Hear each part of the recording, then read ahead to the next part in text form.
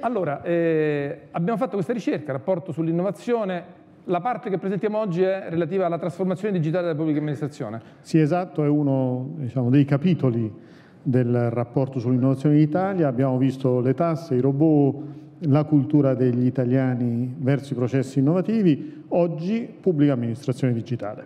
Allora, vediamo la prima slide. Intanto il titolo secondo te cos'è? Cioè qual è la cosa, l'executive summary di questo che è emerso da questa indagine che abbiamo fatto?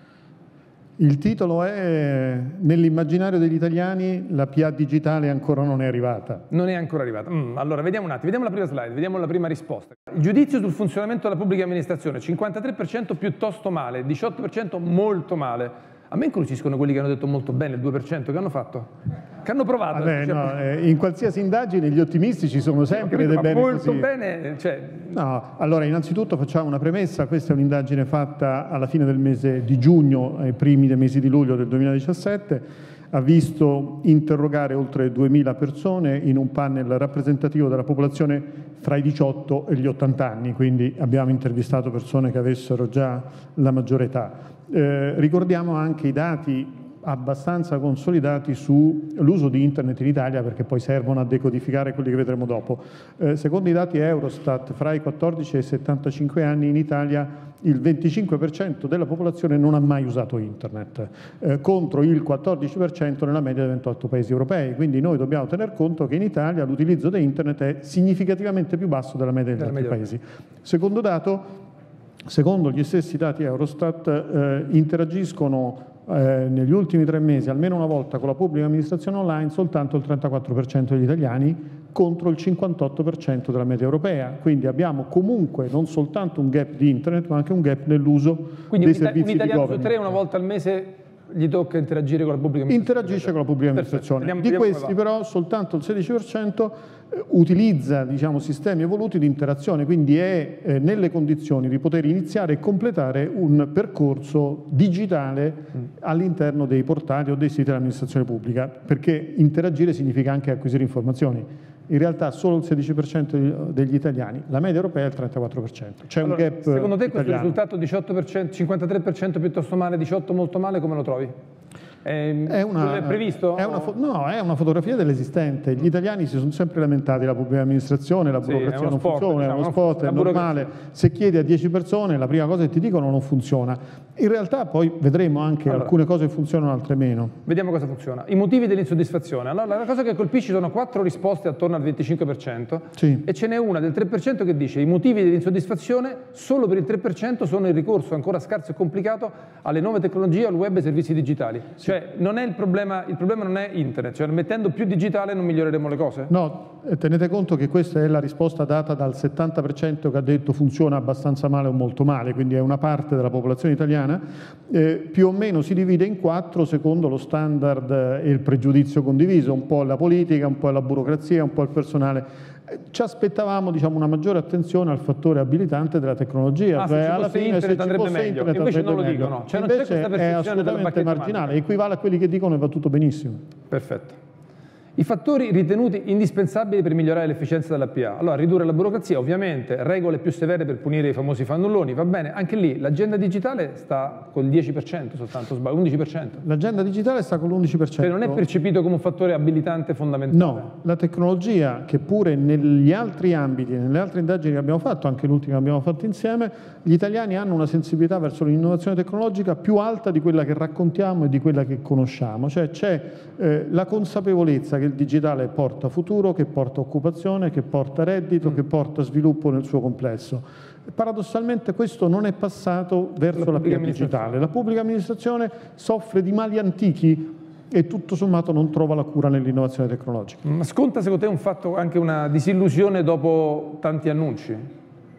Il fatto che dice, eh, ce lo dicono da tanti anni della pubblicazione Sicuramente digitale. sì, io credo che però il, il, punto centrale non sia i tanti annunci, sia l'aver come dire, visto in questi ultimi 15 anni, perché poi non è che è cosa di ieri o di oggi, eh, in questi 15 anni abbiamo visto eh, sovrapporsi, sommarsi, sì. stratificarsi, stratificarsi, progetti, progetti sì. che magari erano gli stessi che cambiavano nome, che magari alcuni funzionavano bene, altri meno.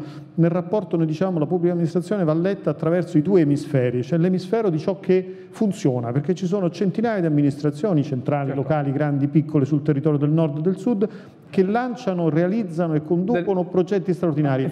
Quello che manca è il telaio, il sistema che non c'è. Allora, vediamo interessante l'uso dei servizi digitali. La cosa più utilizzata dei servizi digitali enti pubblici è l'INPS.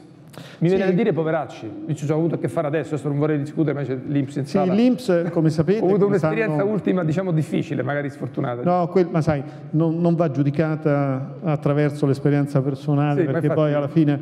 Eh, L'INPS ha eh, due vantaggi nel mondo digitale, è partito da lontano nell'affermare il principio che bisognava arrivare a un momento in cui tutto era digitale. Siamo nel 2010, la legge finanziaria del 2011 lo stabilisce, quindi c'è un percorso che viene da lontano. Secondo, l'INPS ha investito tanto, ha investito risorse, ha investito in uomini, ha investito in attenzione, Terzo, ha capito che doveva trovare un giusto equilibrio fra la disintermediazione dei servizi che Internet rende inevitabile e la capacità di avere vicino un sistema di intermediazione come i CAF. Quindi che l'INPS sia il sistema più utilizzato non ci... Non ci Quindi però vuol dire che facendo funzionare bene sorprende. quello diventa una cosa che diventa un fattore assolutamente più il resto, sì, cioè fa scalare molto, sì, una porta sì. d'accesso importante. Rimane, rimane, il fatto ad esempio che la scuola è più indietro, ci aspettavamo una scuola sì, più avanti. Anche perché c'erano le iscrizioni online, invece iscrizioni online, il registro elettronico, la comunicazione, il 90%, il 92% delle scuole ha eh, dei siti web, ha, usa i profili Facebook per colleguare con i genitori e con gli, gli, alunni. Quindi il sistema scolastico è un sistema che dal punto di vista anche della cultura e del sistema di relazioni, perché parla con i giovani, dovrebbe stare molto più avanti.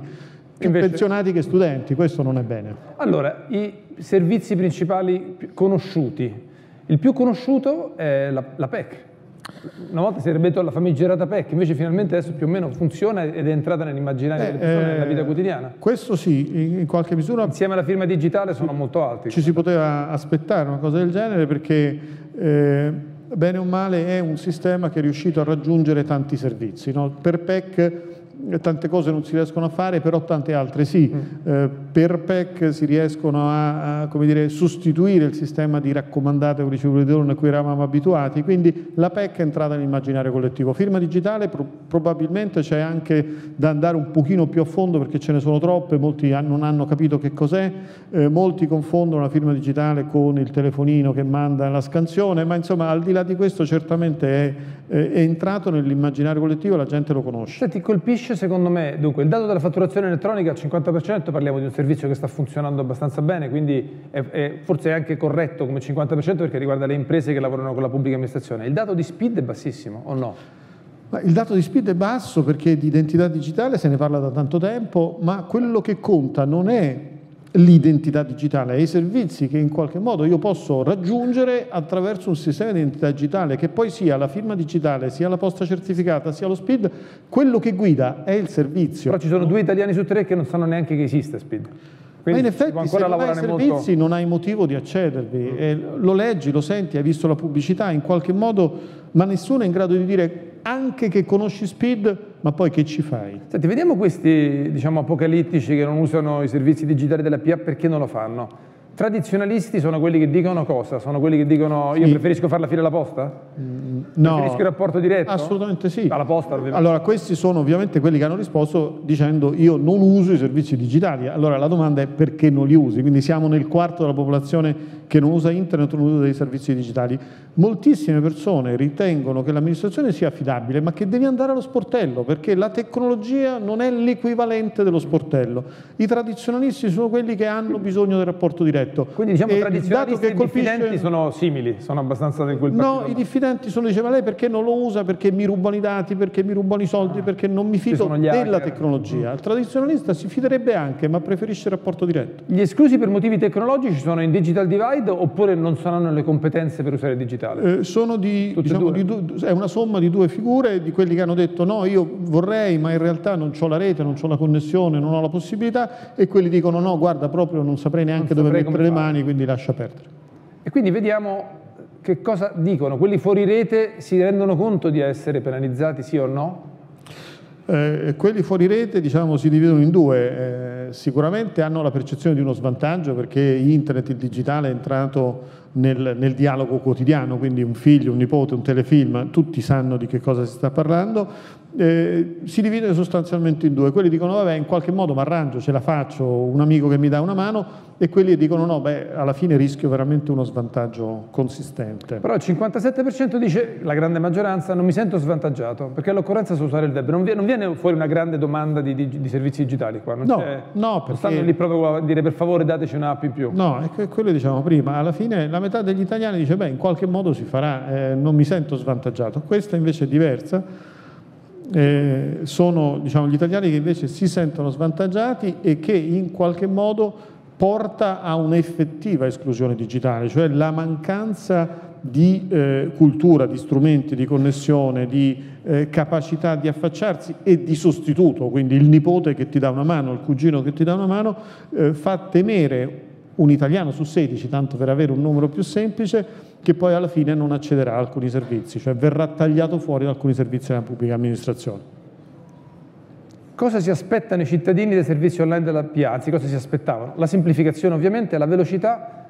Tanti dice che non si aspettavano nulla, cioè non ci credono. Non ci credono eh, questo è quello che dicevamo prima, cioè quando abbiamo fatto l'indagine noi ci aspettavamo naturalmente la domanda è che i servizi siano semplici, che io possa andarci quando voglio, quindi che abbia eh, uno svincolo dal, dal tempo e dall'orario, e però alla fine devi mettere, dice, no, nessuna di queste, non, non mi aspettavo nulla, e questa è stata un po' la risposta prevalente. Un 30% Io, di disincanto c'è più o meno. C'è un 30% di forte disincanto, è quello che diciamo prima, troppi progetti, troppe iniziative, troppo Adesso è l'ora dei risultati. È ora dei risultati, devo vedere qualcosa che funziona. Vediamo cosa hanno ottenuto quelli che hanno, lavorato, hanno interagito con la PA digitale, la comodità ovviamente sì, anche il fatto di essere autonomi rispetto agli orari dell'ufficio, cioè posso fare le pratiche quando mi pare, però anche lì nessuna delle precedenti il 30%. Cioè questo... certo. C'è di nuovo una, come dire, un, un, come c'era un terzo di disincanto, c'è un terzo di disillusi. Tra l'altro come vedi, provato, hanno ottenuto, ho guardato, ma ho ottenuto relativamente... Nella slide precedente cosa volevano era la semplificazione, vedi cosa hanno ottenuto, la semplificazione non tanto. Eh, non fine, tanto, cioè, non tanto non perché poi alla fine... Purtroppo questo è un vizio antico dei servizi della pubblica amministrazione che si trasferisce nel digitale ciò che è semplice viene reso complicato e purtroppo nel digitale viene amplificato perché l'utente medio è abituato a velocità, a connessione, a semplicità d'uso e anche a una facilità di risposta che nei servizi digitali pubblici è piuttosto difficile. Allora adesso stiamo per sentire la ministra Marianna Madia e certo. faremo una chiacchiera intervista di una mezz'ora e 20 minuti anzi abbiamo concordato quindi saremo rigidi nei tempi Giorgio, bottom line di questa ricerca secondo te che cosa ci portiamo a casa? cosa abbiamo capito dagli italiani della pubblica amministrazione digitale? Beh, abbiamo capito in primo luogo che c'è tanto da fare, eh, che non, non, ci sono problemi di risorse, non ci sono problemi di attenzione, non ci sono problemi di consapevolezza della, delle persone, eh, c'è un'attesa e una fiducia che va fatta crescere.